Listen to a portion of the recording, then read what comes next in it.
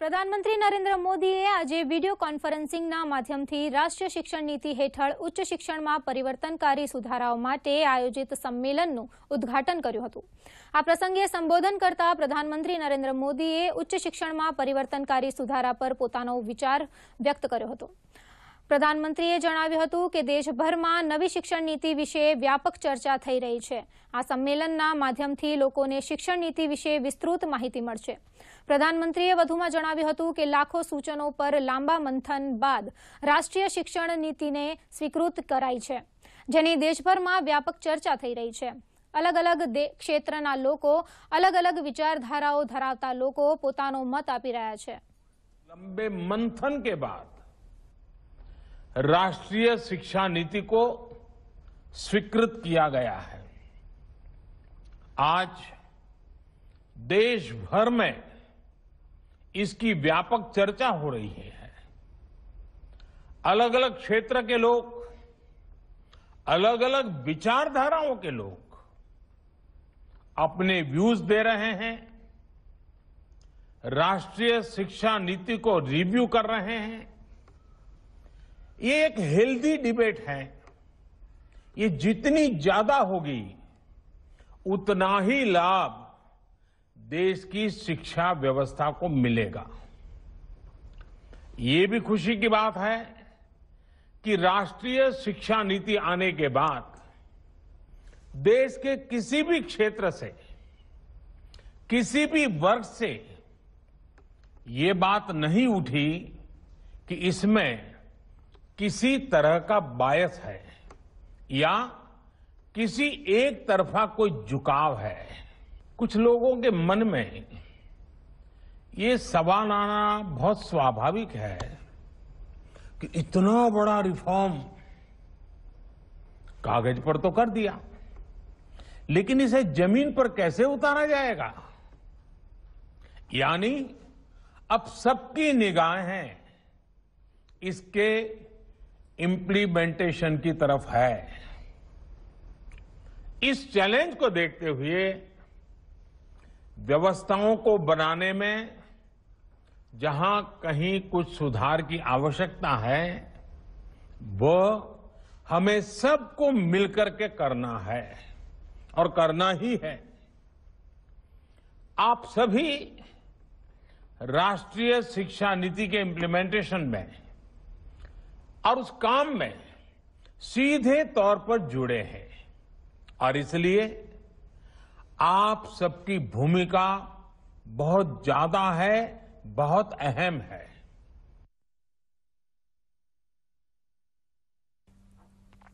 પ્રધાનમંત્રી નરેન્દ્ર મોદીએ વધુમાં જણાવ્યું હતું કે દેશની નવી રાષ્ટ્રીય શિક્ષણ નીતિના અમલીકરણમાં સૌ કોઈ સીધી રીતે જોડાયેલા છે દરેક દેશ પોતાની શિક્ષણ વ્યવસ્થા થકી પોતાના રાષ્ટ્રીય મૂલ્યો સાથે જોડાયેલો હોય છે જેનો હેતુ એ હોય છે કે દેશની શિક્ષણ વ્યવસ્થા પોતાના વર્તમાન અને આવનારી પેઢીઓનું ભવિષ્યનું સારું ઘડતર કરી શકે રાષ્ટ્રીય શિક્ષણ નીતિ એકવીસમી સદીના નવા ભારતની આધારશિલા રૂપી છે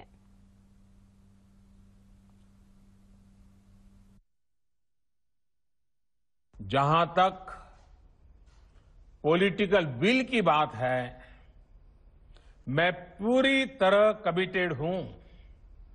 मैं पूरी तरह आपके साथ हूँ। साथियों, हर देश अपनी शिक्षा व्यवस्था को, अपनी नेशनल वैल्यूज़ के साथ जोड़ते हुए, अपने नेशनल गोल्स के अनुसार रिफॉर्म्स करते हुए आगे बढ़ता है। मकसद ये होता है कि देश का एजुकेशन सिस्टम अपनी वर्तमान और आने वाली पीढ़ियों को फ्यूचर रेडी रखे, फ्यूचर रेडी करें। राष्ट्रीय शिक्षा नीति 21वीं सदी के भारत की नए भारत की फाउंडेशन तैयार करने वाली है। 21वीं सदी के भारत को हमारे युवाओं और हमारे युवाओं को जिस तरह की एजुकेशन की ज़रूरत है, जैसी स्किल्स चाहिए, राष्ट्रीय शिक्षा नीति पर इन बातों पर विशेष फोकस है। भारत को ताकतवर बनाने के लिए विकास की नई ऊंचाई पर पहुँचाने के लिए भारत के नागरिकों को और सशक्त करने के लिए उन्हें ज़्यादा से ज़्यादा अवसरों के उपयुक्त बनाने के लिए इस एजुकेशन पॉलिसी में खास जोर दिया गया है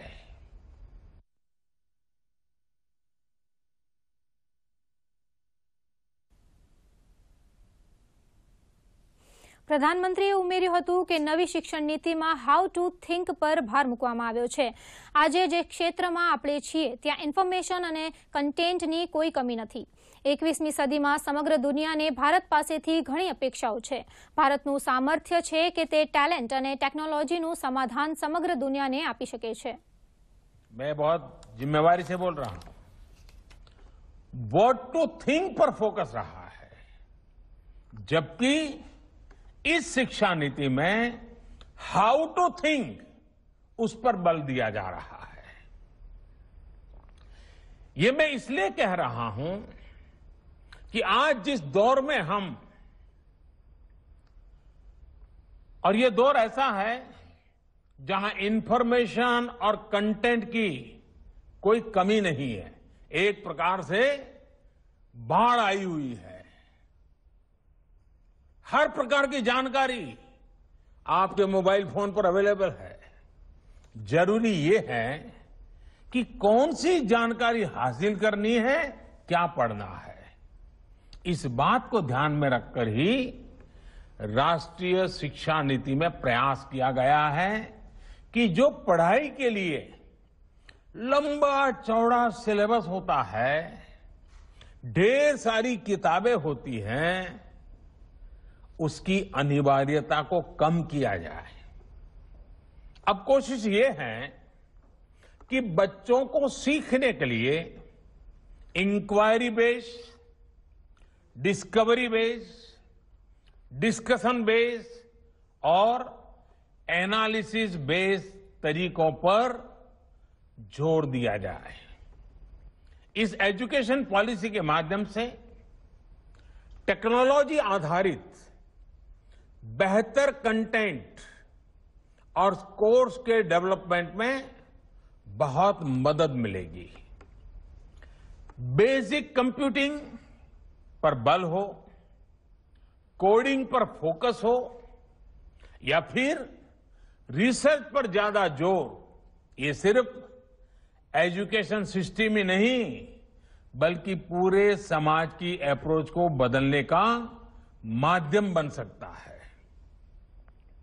वर्चुअल लैब वर्चुअल लैब जैसे कंसेप्ट ऐसे लाखों साथियों तक बेहतर शिक्षा के सपने को ले जाने वाला है, जो पहले से ही सब्जेक्ट्स पढ़ ही नहीं पाते थे, जिसमें लैब एक्सपेरिमेंट ज़रूरी हो। नेशनल एजुकेशन पॉलिसी राष्ट्रीय शिक्षा नीति, हमारे देश में रिसर्च और एजुकेशन के गैप को खत्म करने में भी अहम भूमिका निभाने वाली है।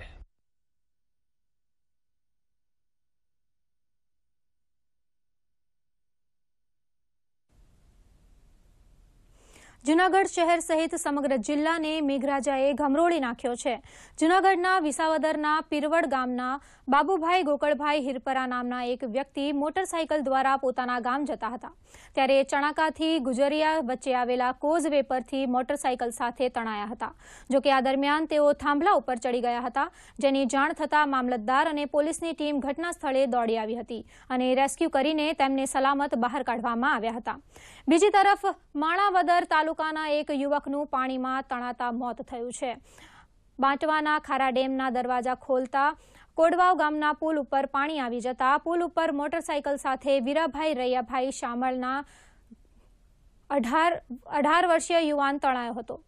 પૂરમાં તણાતા આ યુવકનું મૃત્યુ નીપજ્યું હતું. તો જિલ્લાના વંથલી તાલુકાના ગાંઠીલા ગામ નજીક ઓઝત નદી પરનો પુલ બેસી જતા વાહન વ્યવહાર ઠપ્પ થયો છે, જેના કારણે એક ગામથી બીજા ગામનો સંપર્ક ખોરવાયો છે.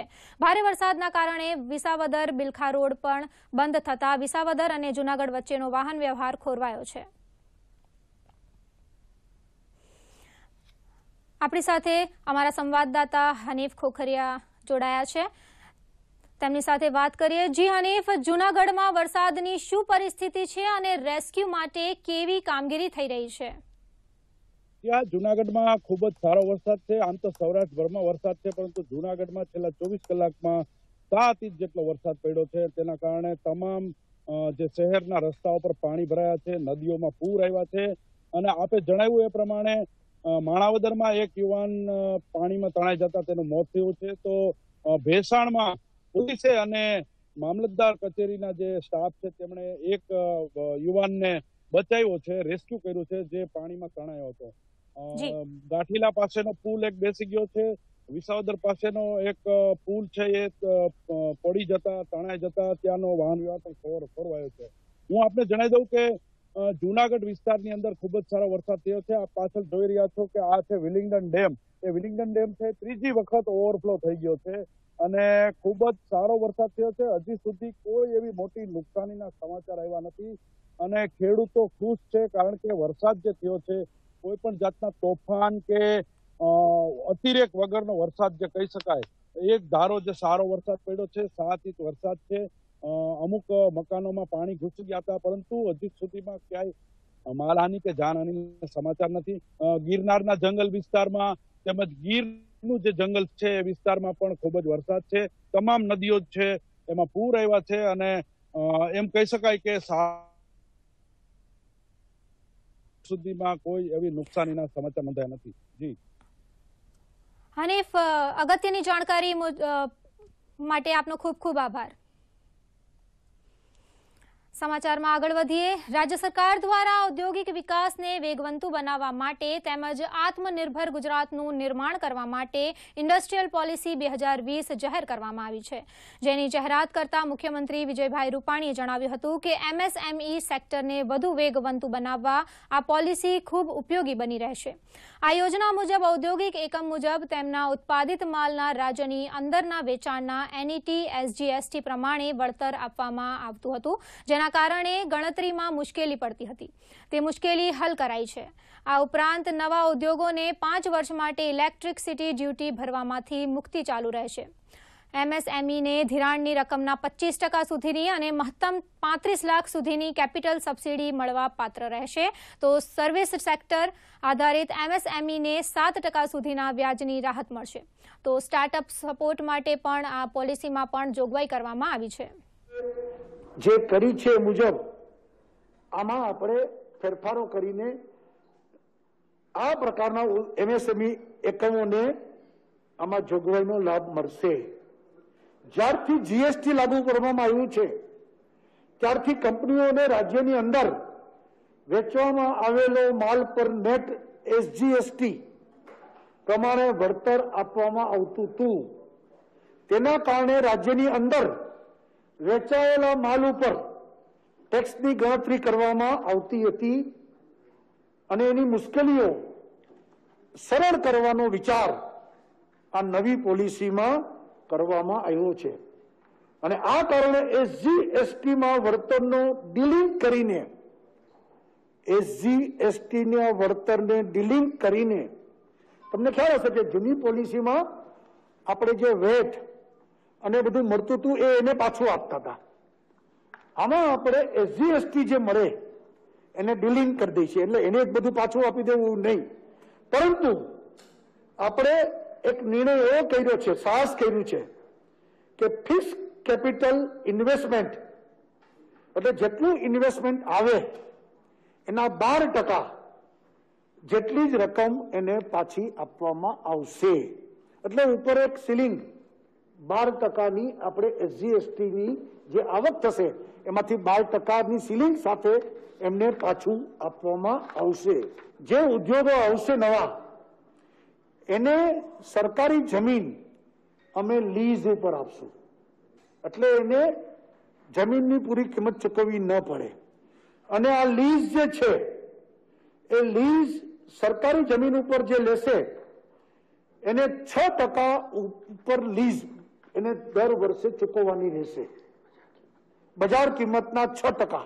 એને ભાડું ટૂંકમાં એને ચૂકવવાનું રહેશે. આવા ઉદ્યોગોને બેંકમાંથી લોન લેવા માટે પણ જમીન મોર્ગેજની સિસ્ટમમાં પણ સરકાર મદદ કરશે. એક મજબૂત ઔદ્યોગિક ઇકોસિસ્ટમના વિકાસમાં રિસર્ચ અને ઇનોવેશનને પણ મહત્વ સરકાર આપવા માંગે છે. અને એટલા માટે રિસર્ચ ડેવલપમેન્ટ તેમજ પ્રોડક્ટ ડેવલપમેન્ટમાં સેન્ટરમાં પોલિસીનો લાભથી ખાનગી કંપનીઓ અને સંસ્થાઓને પાંચ કરોડની સહાયતા પણ પ્રદાન કરવામાં આવશે. રાજ્યમાં મેઘરાજા ફરી એકવાર મહેરબાન બન્યા છે. એમાં પણ સૌરાષ્ટ્ર અને દક્ષિણ ગુજરાતમાં મેઘરાજા પોતાની વિશેષ કૃપા વરસાવી રહ્યા છે. ત્યારે જૂનાગઢ, ગીર સોમનાથ, રાજકોટ સહિતના વિસ્તારોને તરબોળ કરી દીધા છે. જોઈએ આ વિશે અમારો ખાસ અહેવાલ. ભારે વરસાદના પગલે શહેરના અનેક વિસ્તારોમાં ઘૂંટણસમા પાણી ભરાઈ ગયા હતા. જેના કારણે રાહદારીઓ અને વાહન ચાલકોને આંશિક મુશ્કેલી ભોગવવાનો વારો આવ્યો હતો. બીજી તરફ ગરવા ગિરનાર પર્વત ઉપર પણ સાંબેલા ધાર વરસાદ વરસતા જૂનાગઢના વન્ય વિસ્તારોમાં સોનરખ અને કાળવો નદીમાં પૂર આવતા પ્રકૃતિ સોળે કળાએ ખીલી ઉઠી છે. બીજી તરફ શહેરોનો વેલિંગડન ડેમ ફરી છલકાતા ગિરનાર પર્વતની રમણીયતામાં વધારો થયો છે. જૂનાગઢ સહિત તાલુકા સહિત કેશોદ તાલુકાના અનેક ગામડાઓમાં ચોથા દિવસે પણ ત્રણ ઇંચ જેટલો વરસાદ ખાબકતા ઉતાવળિયા નદીમાં ફરી નવા નીર આવ્યા છે. સારા વરસાદના પરિણામે ખેડૂતોમાં ખુશીનો માહોલ છવાયો છે. જ્યારે નીચાણવાળા વિસ્તારોમાં પાણી ભરાતા લોકોને હાલાકી પડી હતી. આ તરફ સૌરાષ્ટ્રના પાટનગર ગણાતા રાજકોટ શહેરમાં પણ ગત મોડી રાત્રિએ બે ઇંચ જેટલો વરસાદ ખાબકતા સમગ્ર શહેર પાણી પાણી થઈ ગયું હતું. ઉપરવાસમાં પણ થયેલા ભારે વરસાદને કારણે આજી નદીમાં ઘોડાપૂર આવ્યું હતું. તો આજી નદીમાં જળસ્તર વધતા કાંઠે આવેલું રામનાથ મહાદેવનું મંદિર પાણીમાં ડૂબ્યું હતું. બીજી તરફ આજી નદીમાં વધતા પાણીના પ્રવાહને જોતા આસપાસના પાંચ વિસ્તારોને એલર્ટ કરવામાં આવ્યા છે. મોડી રાત્રિએ શહેરના મેયર બીનાબેન આચાર્ય પણ સ્થળની સમીક્ષા કરવા પદાધિકારીઓ સાથે દોડી આવ્યા હતા. રાજકોટ શહેરમાં આજી નદીમાં હાલ અત્યારે ઘોડાપૂર આવ્યું છે. આપ જોઈ શકો છો પવિત્ર રામનાથ મહાદેવ મંદિરના દ્રશ્યો છે. હાલ અત્યારે ફાયર બ્રિગેડની ટીમ અત્યારે સ્થળ પર પહોંચી ગઈ છે. સમગ્ર રામનાથ મહાદેવ મંદિર પાણીમાં ગરકાવ થઈ ગયું છે. વર્ષો જૂનો રામનાથ મહાદેવ મંદિરનો આ પ્રશ્ન છે. સ્વયંભૂ અત્યારે રામનાથ મહાદેવ પર જળાભિષેક થઈ રહ્યો છે. આજી નદીમાં પાણીનો પ્રવાહ ખૂબ જ વધુ હોવાથી આસપાસના પાંચ જેટલા વિસ્તારવાસીઓને એલર્ટ કરવામાં આવ્યા છે અને તમામ લોકોને પાણીથી દૂર રહેવા માટે અપીલ કરવામાં આવી રહી છે. સાથોસાથ, મંદિરમાં કોઈ દર્શન માટે અહીં ન આવે, પાણીનો પ્રવાહ જોવા માટે ન આવે, તે માટે કોર્પોરેશન તંત્ર દ્વારા પણ અપીલ કરવામાં આવી રહી છે. ત્યારે લોકોને પણ અનુરોધ છે કે આપ આજી નદીથી મોરબી જિલ્લામાં છેલ્લા ચોવીસ કલાકમાં પંચાવન મિલીમીટર વરસાદ નોંધાયો છે, જ્યારે વાંકાનેરમાં નવ મિલીમીટર, હળવદમાં ચોપન મિલીમીટર, ટંકારામાં એકસઠ મિલીમીટર તેમજ માળિયામાં છ મિલીમીટર વરસાદ નોંધાયો છે. આ તરફ બોટાદ જિલ્લામાં પણ મેઘરાજાએ મહેર વરસાવી છે. ગઢડા શહેર અને પંથકમાં સાંબેલાધાર વરસાદ નોંધાયો છે. ગઢડામાં ગઈકાલે બપોરના ચાર કલાકથી સાંજના આઠ કલાક સુધી સવા ત્રણ ઇંચ જેટલો વરસાદ વરસ્યો હતો, જેના કારણે ગઢડાની ઘેલો નદી બે કાંઠે વહેવા લાગી હતી. તો ગઢડાની જીવાદોરી ગણાતો રમાઘાટ ડેમ બીજી વાર ઓવરફ્લો થતાં પાણીની સમસ્યા હળવી થઈ છે. દૂરદર્શન કેન્દ્ર અમદાવાદ. પ્રસિદ્ધ યાત્રાધામ દ્વારકામાં પણ વહેલી સવારે વરસાદ વરસ્યો હતો, જેના કારણે વાતાવરણમાં ઠંડક પ્રસરી ગઈ હતી. જિલ્લાના ચારે તાલુકામાં છેલ્લા ચોવીસ કલાકમાં બેથી પાંચ ઇંચ જેટલો વરસાદ વરસ્યો હતો. જિલ્લાના કલ્યાણપુરમાં એકસો અગિયાર મિલીમીટર ભાળવડમાં એકસો દસ મિલીમીટર, ખંભાળિયામાં એકાણું મિલીમીટર અને દ્વારકા તાલુકામાં છાસઠ મિલીમીટર વરસાદ વરસ્યો હતો, જેથી નીચાણવાળા વિસ્તારોમાં પાણી ભરાઈ ગયા હતા અને લોકોને ભારે હાલાકીનો સામનો કરવો પડ્યો હતો. દક્ષિણ ગુજરાતમાં લાંબા વિરામ બાદ મેઘરાજા મહેરબાન થતા લોકોમાં આનંદ છવાયો હતો. નવસારી જિલ્લાના ગણદેવી, ચીખલી, વાંસદા સહિ- સહિતના વિસ્તારમાં છૂટો છવાયો વરસાદ વરસ્યો છે. તો પવન સાથે વરસેલા વરસાદને કારણે કેટલીક જગ્યાએ વૃક્ષો ધરાશાયી થયા હતા. તો કેટલાક વૃક્ષ જાહેર માર્ગો પર પડી જતા વાહન વ્યવહારને અસર પહોંચી હતી. જોકે ધીમી ધારે વરસેલા વરસાદથી ખેડૂતોમાં આનંદની લાગણી પ્રસરી ગઈ હતી. મધ્ય ગુજરાતના છોટાઉદેપુર જિલ્લામાં સાર્વત્રિક વરસાદ વરસ્યો હતો. જિલ્લાના કંવાટ પાવીજેતપુર નસવાડી, બોડેલી, સંખેડા સહિતના તાલુકામાં સારો વરસાદ વરસ્યો હતો. જેના કારણે વાતાવરણમાં ઠંડક પ્રસરી ગઈ હતી. તો સુકાઈ રહેલા પાકને પાણી મળતા ધરતીપુત્રોનો મહામૂલો પાક બચી ગયો હતો, જેથી ખેડૂતોમાં આનંદ છવાયો હતો.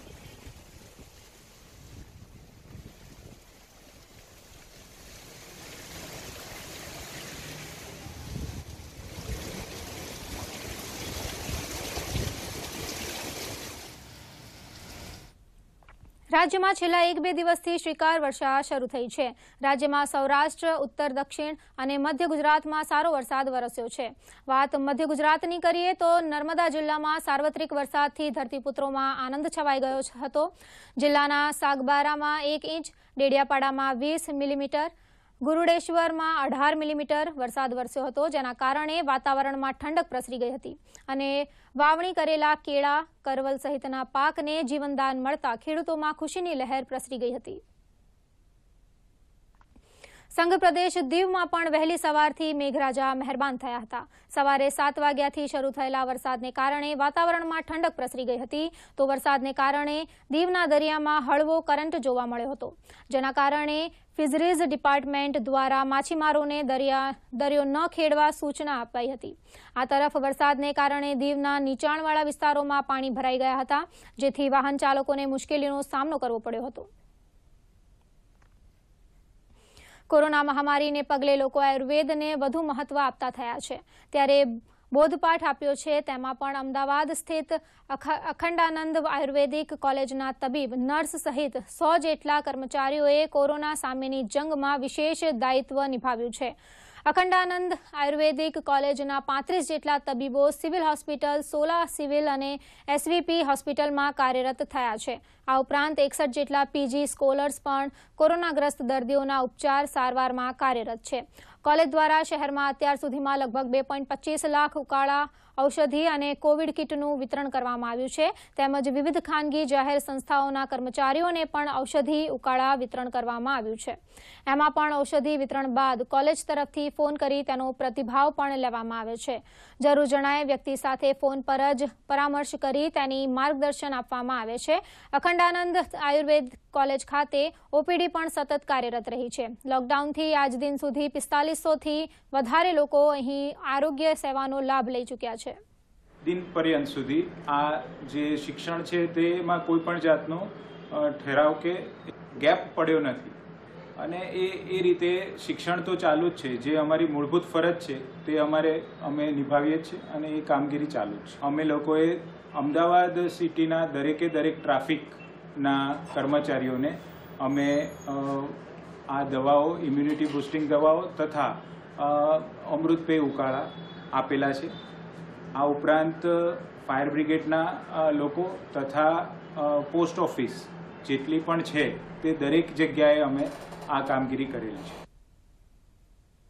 નર્મદા નદીનું હજારો ક્યુસેક પાણી દરિયામાં ન વહી જાય તે માટે રાજ્ય સરકાર દ્વારા રૂપિયા ત્રેપનસો કરોડની ભાડભૂત બેરેજ યોજનાનું આજે ગાંધીનગર ખાતેથી મુખ્યમંત્રી વિજયભાઈ રૂપાણીએ વીડિયો કોન્ફરન્સથી ઈ ખાતમુહૂર્ત કર્યું હતું. જ્યારે રાજ્યના સહકાર પ્રધાન ઈશ્વરસિંહ પટેલ ભાડભૂત ખાતે હાજર રહ્યા હતા.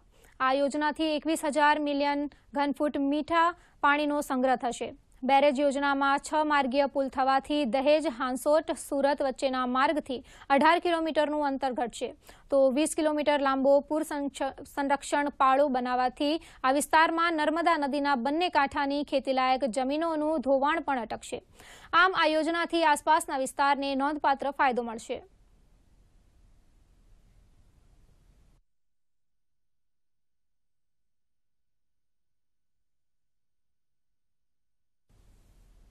સુરતની સુમુલ ડેરીની ચૂંટણી માટે મતદાન આજે શરૂ થયું છે, જેમાં વાલાડ બેઠક માટે મતદાન યોજાયું હતું, જેમાં બેતાલીસ મતદારોએ આજે તેમના મતદાનનો ઉપયોગ કરતા સો મતદાન નોંધાયું છે.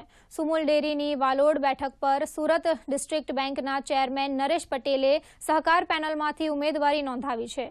ત્યારે સુમુલ ડેરીની આ ચૂંટણી રાજકીય રીતે ખૂબ મહત્વની છે.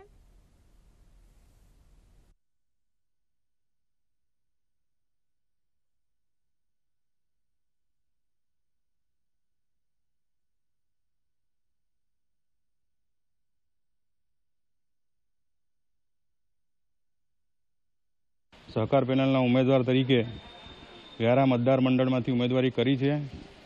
આવનારા સમયમાં આદિવાસી પશુપાલકોના હિતમાં સુમુલ ડેરીમાં હું સારી રીતે કામ કરીશ એવી મને અપેક્ષા છે અને તમામ મતદારોનો સાથ સહકાર છે અને જીતની મને પૂરેપૂરી અપેક્ષા, ઉમ્મીદ છે અને બધાનો ઘણાનો, બધાનો સાથ સહકાર છે. તમામે તમામ સીટ ઉપર સહકાર પેનલના ઉમેદવારો સારામાં સારા મતોથી વિજયી થશે. પહેલાં જ ત્રણ બેઠકો તો બિનહરીફ થઈ ચૂકી છે. એટલે તમામ સીટો ઉપર સહકાર પેનલના ઉમેદવારો સારા એવા મતોથી વિજયી થશે એવો મને વિશ્વાસ છે. કોરોના મહામારીને કારણે દ્વારકાનું સુપ્રસિદ્ધ જગત મંદિર જન્માષ્ટમીના દિવસે બંધ રહેવાનું છે. દ્વારકા મંદિર માટે જન્માષ્ટમીનો તહેવાર સૌથી મોટા ઉત્સવ તરીકે મનાવવામાં આવતો હોય છે. પરંતુ કોરોનાને કારણે આ વખતે મંદિર દર્શનાર્થીઓ માટે બંધ રાખવાનો નિર્ણય કરવામાં આવ્યો છે અને આ ઇતિહાસમાં સૌ વખત થવા જઈ રહ્યું છે. તંત્ર દ્વારા લેવામાં આવેલા નિર્ણય મુજબ કોરોના સંક્રમણને કારણે દસ ઓગસ્ટથી તેર ઓગસ્ટ સુધી મંદિર દર્શનાર્થીઓ માટે બંધ રહેશે. જોકે આ સમય દરમિયાન મંદિરમાં પૂજા, આરતી સહિતનો નિત્યક્રમ ચાલુ રહેશે, જેમાં પૂજારી સિવાય અન્ય કોઈ ભાગ નહીં લઈ શકે. બાર ઓગસ્ટે જન્માષ્ટમી છે, ત્યારે દર્શનાર્થીઓ ભગવાન દ્વારકાધીશના દર્શન કરી શકે તે માટે ઓનલાઈન દર્શનની વ્યવસ્થા કરવામાં આવી છે.